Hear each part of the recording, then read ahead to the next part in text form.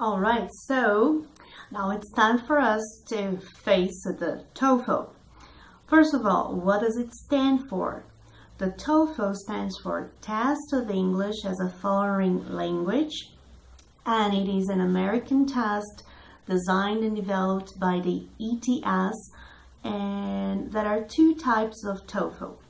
We've got the TOEFL IBT that is internet based and also TOEFL PBT that is paper-based.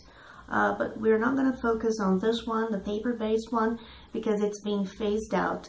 It's only for places in which we still do not have the, the IBT version, right? So the TOEFL, it is accepted by thousands of colleges in more than 130 countries, including Australia, Canada, the UK, and mainly the US, once it's an American exam, right?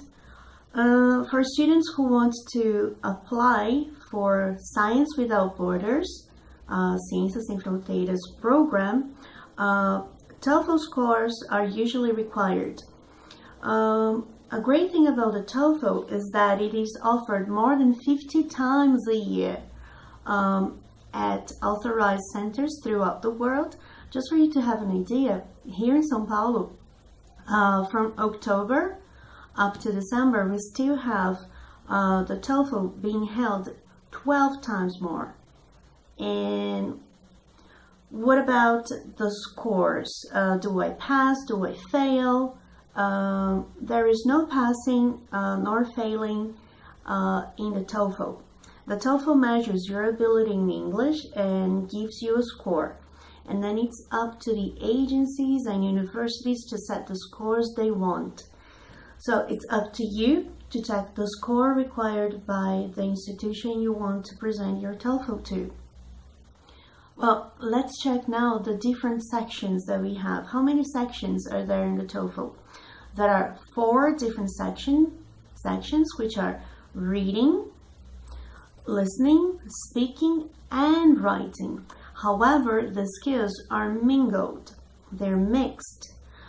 For example, uh, for the listening section, there is a part in which you have to read a passage, then listen to a talk, and based on these two um, pieces of information you have, you have to answer the questions.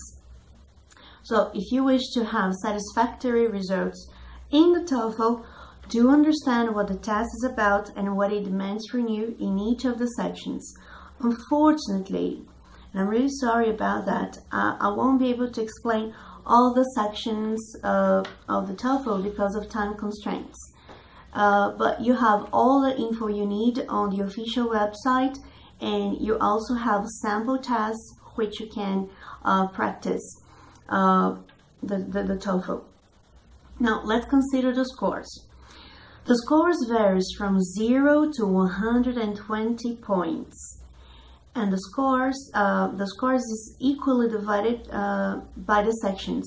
So as there are four sections for each one you can have from 0 to 30 points. Uh, but how much do I need? I'm giving you an example just for you to have an idea. For you to take part in Ciências Sem Fronteiras Science Without Borders um, your score should be 61 or higher.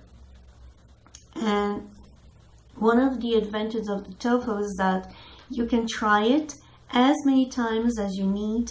You just have to respect a period of 12 days between a test and another.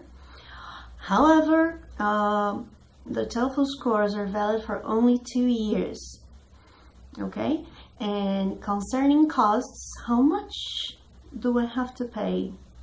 Nowadays, the TOEFL costs 215 American dollars and then converting that into reais it's around 830 reais. So be sure uh, you are ready to take the TOEFL I strongly believe you don't want uh, to take this risk and to, to waste 830 uh, reais just to give it a try and study and study hard for the TOEFL